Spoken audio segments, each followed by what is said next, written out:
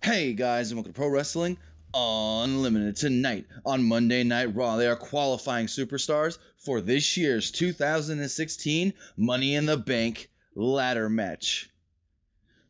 We already have two superstars qualified, and the third superstar came out of this match Chris Jericho taking on Apollo Crews.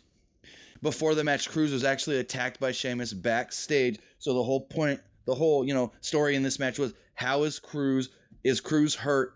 Is Crews was Crews hurt going into this match? And in fact Chris Jericho did hit a code breaker at the end of this match to qualify for the money in the bank. And then the whole thing after the match as well wasn't about Chris Jericho qualifying but Sheamus had attacked Crews before the match and you know did that affect Apollo Crews in this match. But Chris Jericho, in fact, like I said, did qualify for the 2016 Money in the Bank ladder match. So let's check out who we have qualified so far. We already have Sami Zayn and Cesaro qualified for this ladder match. So let's add Chris Jericho.